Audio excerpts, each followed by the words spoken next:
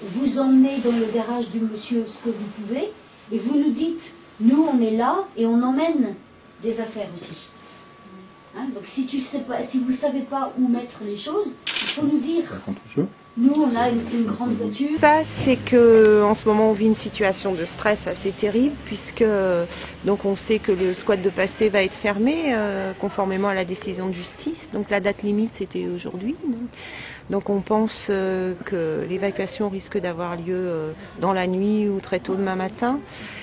Donc on essaye à la fois d'évacuer les maigres biens des gens qui sont sur place, c'est-à-dire des matelas, des vélos d'enfants récupérés au secours populaire, euh, et en même temps euh, bah, de discuter un peu avec eux parce qu'ils sont tous euh, complètement à cran, épuisés.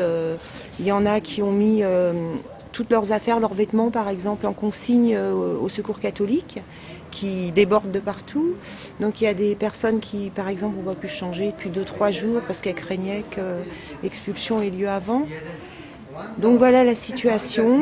Euh, non, personne ne sait euh, ni exactement quand va avoir lieu l'expulsion, même si on a des doutes. Et surtout, ils ne savent pas où ils vont aller. On n'a aucune réponse. Hier, le but de l'occupation des différents lieux institutionnels, c'était de rencontrer des interlocuteurs pour avoir cette réponse-là.